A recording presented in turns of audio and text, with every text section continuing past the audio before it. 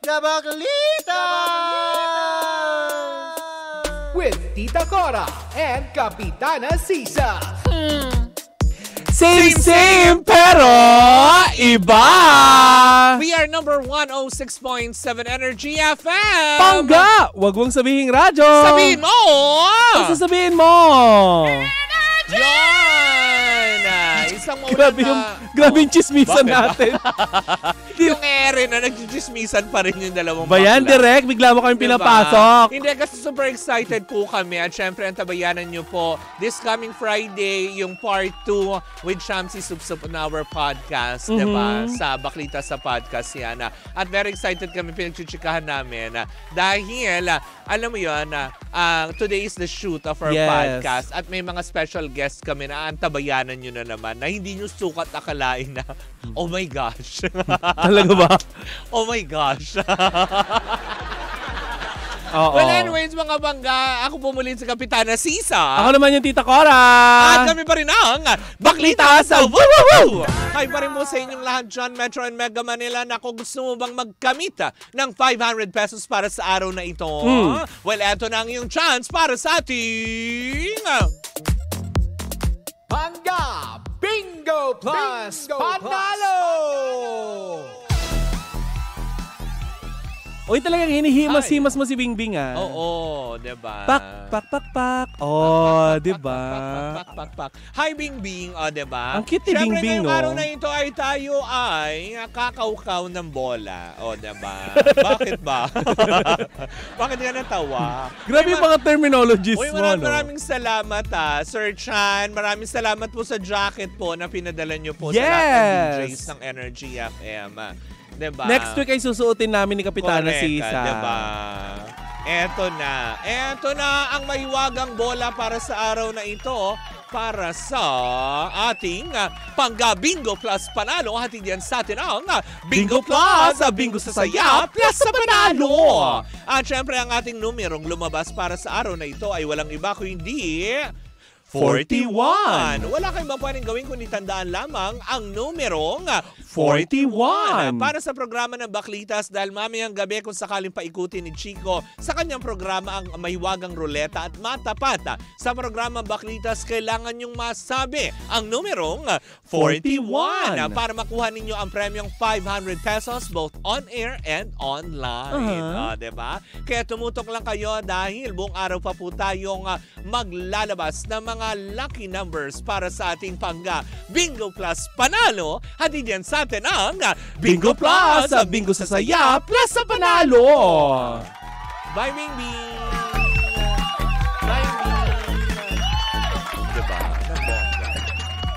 Oy, Mare! Oh? Diyos ko, ang daming nakikinig sa atin ngayon. Ay, hello! Gamit, gamit ang kanilang telepono at Ah. gamit ang application na TikTok. Ay. Ayan. Hello po, magandang umaga po sa inyong lahat. Sa TikTok. Oh, Mm-mm. ganyan. Diba? TikTok. Yun yung kinakain, di ba? Hmm, TikTok yun. Ah, Hmm, Kenny. Kenny. yung canny. Oo. Mari, pasalamatan ko lang muna ito ah. Sige. Ang mga sumusunod na nakatutok sila ngayon. ah. Dora! Ang Dermaglow Aesthetic and Dental Clinic, si Doc Joan Nieto at si Doc Dan at si Mm-hmm. Ate Fe, ang aking Blush and Glow family at syempre si Tita Alicia Balatbat. Correct, ng Lola, Ng Lola Nenas! Iba! Iba talagang Lola Nena. Thank you, Lola Nenas. I miss all the donuts, the classic donuts. Yes, but today um Meron siyang ah, mga ipapadala. Yes, Para hindi sa ko ating sure kung anong podcast pinadala niya ah. eh. O, diba? Yung ano, yung mascot ng Lola. Lola Nenas. Dala nila mismo si Lola. Oo. Huy, hindi ko sure kung buhay pa si Lola Oo, Nenas. diba? Si Lola Nena lang. Mm-mm. Diba? Ang Dala dami nila lahat ng Nenas. branches. lahat ng may pangalan na Nenas dinala. O, diba? Huwag hindi lahat magaganda. Tsaka hindi lahat mababango. Thank you so much, Ate Alicia Balatba. Yes! Diba ng bonggang-bongga? So ano na, itong chika mo ay ah, Oo. kakain din ba ng donut? Naku, Mare, Oo. mukhang hindi pa nga. Ah, Kasi nga, Mare, Bakit? ngayon ay limitado pa yung mga ginagawa. Oo. Nitong si Doc Willie Ong dahil Ayun. ginimbal niya ang ah, internet world. ah. Oo. Lalo na ang kanyang mga taga-subaybay sa YouTube. ah. Oo. Matapos niyang aminin sa kanyang YouTube channel na siya nga ay merong sarcoma or Oy. alam mo yung ano sarcoma or ano or cancer. Cancer. Yes, ito ay nagtatago daw mare sa likod ng kanyang puso kaya hindi ka agad daw na ano, Na-detect. na-detect or Oh my na-diagnose. gosh, malapit sa heart. Yes, malapit din sa ano sa backbone niya. Oo, ay, nakakasad naman. Ngayon mare nga ay ah, mo, kasalukuyang nagkita pa kami niyan. Mm. Parang few months ago sa isang mall. Mm. Kasama niya yung kanyang asawa na doktora. Alam mo ba in pain na siya during that time? Ay, talaga ba? yes, kasi Pero- pag Pero hindi ko nahalata yun na kasi nakita kami sa may Ayala by the Bay noon. kasi ganun ka warm ang kanyang personality. Di ba? Oo. Hindi mo siya Mahahalatang... mahahalatang naman ako dyan. Kaya nga Kilala mare. ko yun ng personal kasi doon pa kami sa pinanggalingang AM station. Mm-mm. Nandun na sila dati pa. Yes. Diba? Mababait yung mag-asawa na yan. Actually sila sila nga ang ano 'di ba? Yan yung mga mahilig magpayo ng ano ng libre consultation. Oo. Si Dr. Gary C. Tama, 'Di diba? ba? Yung mga yan si Doc Willie O. Correct, 'di ba? Tsaka yung asawa din yung doktora. Oo. Actually, dyan ako nang, yung nandun pa kami sa dati naming istasyon, sa kanila ako nangangaroling at galante yung mga yan. Talaga? ako yung mag-isa kumakanta, nagbigay ka agad yung 500. Mm, Ganyan. see? Diba? Imagine. Nakakasad naman, ano. Oo, mare pero eto nga, Ano kasalukuyan nasa ano, nasa Singapore ngayon. Mm-mm. Ang ah, cardiologist or si Doc Willie Ong Oo. kasama ang kanyang wife ah, Oo. na si Doc Lisa Aha. para magpagaling or magpa ano magpagamot ah, Oo. sa kanyang ah, pinagdadaan ng sarcoma Mm. or ah, cancer. Oo.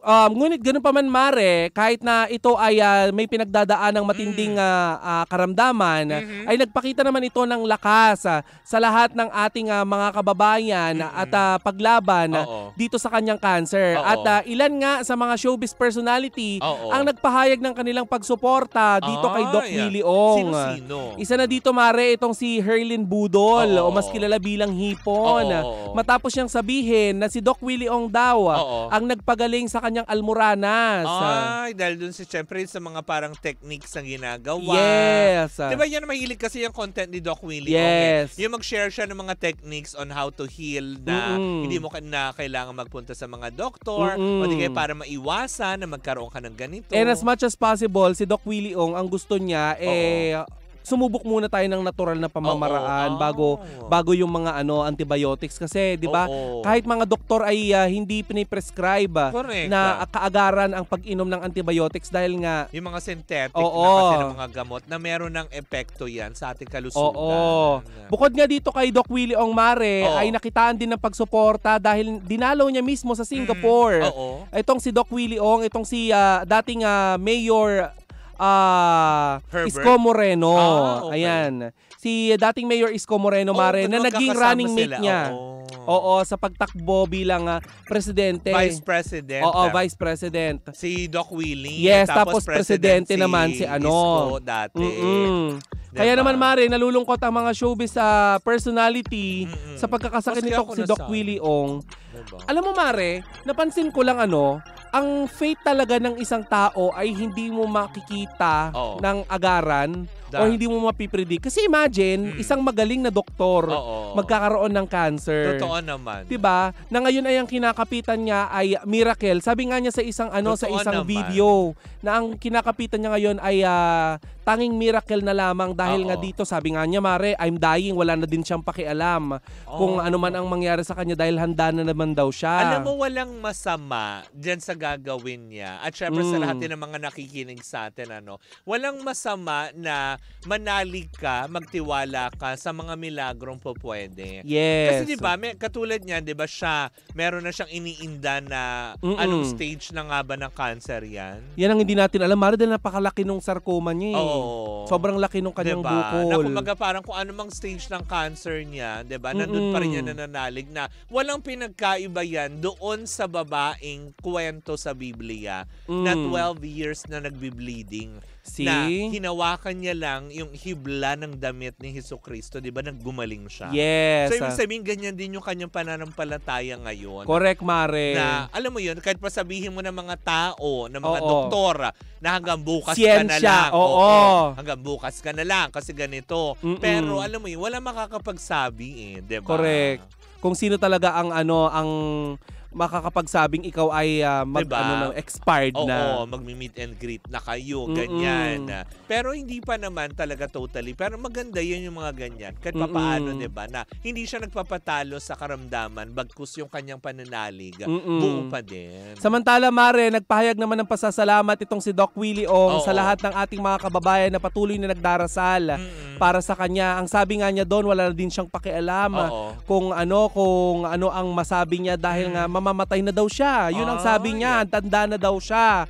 Ngayon ang sabi niya, nakakaawa lang ang ating mga kababayan dahil nga Mm. meron mga politiko na kurap. Ah, Diba kasi nga yeah. maraming Imagine Mare, alam naman natin yan si Doc Willie Ong. Siyempre may naitatabing budget yan para sa kanyang kalusugan. Correct, correct. Sabi ni Doc Willie Ong, paano kaya yung mga kababayan natin na walang pampagamot? Tama, di ba? Diba?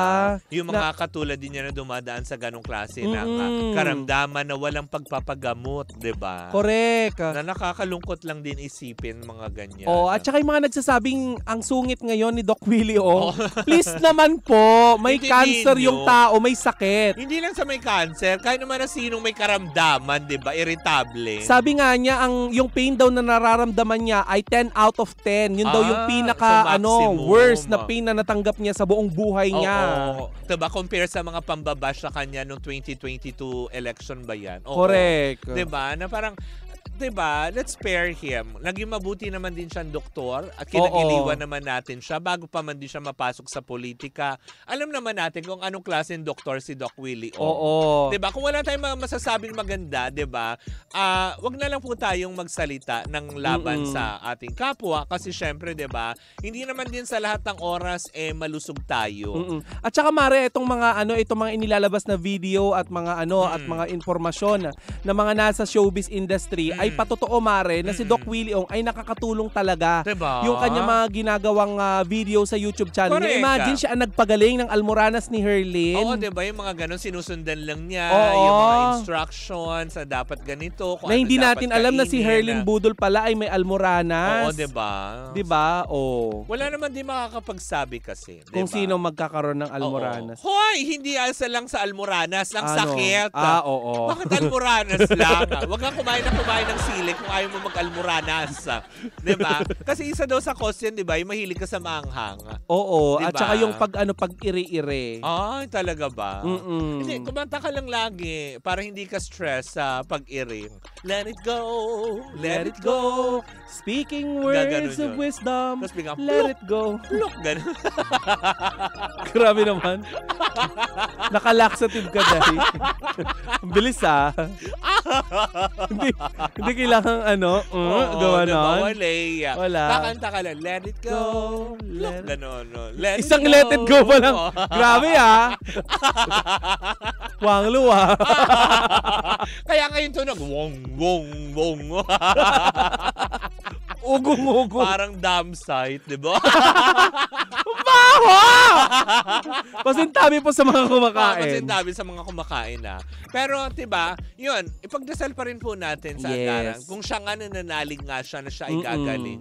What more yung mga dasal na pwede natin. Hindi man tayo Correct. makatulong ah, ng literal na tulong, pinansyal, o kaya Mm-mm. kung ano man, di ba? Siguro sa dasal na lang na wag naman natin ipagdamot. Correct. Si Diba? Pacquiao nga, eh, pagdarasal natin kapag may laban siya, eh, di ba, sa suntukan. Ah. Di ba? Oo. Si Doc Willie pa kaya na nakakatulong din Correct. sa ating mga kababayan. Ipagdasal din natin. Di ba, na nakakaloka. Nakakasad yung balita na ito. Mm-mm. Sabi nga nila, 'di ba, kung sino pa yung mga mabubuting tao na alam mo yun, na nakakatulong sa kapwa, sila pa yung binibigyan ng ganitong test, 'di ba? Kaya nga. Pero ibig sabihin lang nito, binibigyan sila ng ganong pagsubok kasi para mas lalong tumibay yung kanilang pananalig. Oo, at saka pag mabubuting tao, di ba, Oo. Nagkakaroon ng ganyan. Correct, 'di ba? Challenges. Na tipong wala, nakakasad lang. So ipagdasal Mm. na lang din natin. Kaya kung Diba? ikaw pangga, marami Oo. kang pinagdaraanan. Isipin mo Laban na mas, lang. na mas maraming taong may pinagdadaanan na mas mabibigat pa sa'yo. Pero Oo. nakukuha pa rin nilang ngumiti sa araw-araw. Pero hindi diba? naman natin ano ay ni-invalidate yung nararamdaman mo pangga dahil may kanya-kanya naman tayong way on how to Correct, ano ah. handle our problems. Pero yun nga, kung may pinagdaraanan ka ngayon, isipin mo lang na ano na ah, bukas ay panibagong Magiging pag-asa. Okay ka, diba? Mm-mm. Tomorrow is another day. Diba? This Nasabi nga nila, for pass. every drop of rain, a Oo. flower bloom. Ah, teka. Oh. Every drop count, Oo. sabi ng Every Maynilad. day I take. ah, ano pa? Every move I make. Oh. Kumanta ang ba? Naghahanap ako na... Every day, Ah, I every see. night, I'm looking from the sky every day. Photograph, ganon. Is that photograph? Every day Ah, din. every day. Every day. Ah, I oh. will be here. But, hoy, hindi ka nagsusulat ng kanta on air, ha? Iba yun. Ah, every day. I'll always love, Love you. you all. Oo. Di Agot Isidro. Mali! Napagal! Mali pala. Napagalatan yung edad namin. O bakit ba? Na nakakaloka. well, hangad pa rin namin ang paggaling mo, Doc Willie Ong. yes, magpagaling ka, Doc. ba? Makikita pa tayo, don't lose hope, ba? God is Mm-mm. good. Alam naman natin 'yan na God moves in mysterious ways. Na Correct. Kaya kanyang paggalingin in no time. ah. Baka magulat na lang din tayo. Tama nga ba si Miss Chris Aquino, 'di ba? Mm, na inaakala ka ng ng lahat, ano. na, 'di ba? Na alam na din niya. Kaya, 'di ba? Wag tayong wag tayong ano, ano mo 'yun, masyadong nega sa mga tao, wag tayong Mm-mm. masyadong ganyan, 'di ba? Kasi maraming bagay ang pwede mangyari. Maraming milagro ang pwede mangyari araw-araw. Correct. Yun lang. Kaya Anyways. naman, magpaalam na muna tayo. Tama, hindi ba mga pangga? At dito muna natatapos ang isang edisyon ng Baklita sa Woo Woo Woo! Muli po ako si Kapitana Sisa. Ako naman po ang yung Tita Cora. And we are still uh, Same, same, pero iba. Tuloy-tuloy pa rin po ang ating tugtugan. Siyempre, dito po lamang yan ah, sa number 106.7 Energy FM. Pangga, wag mong sabihin radyo. Sabihin mo,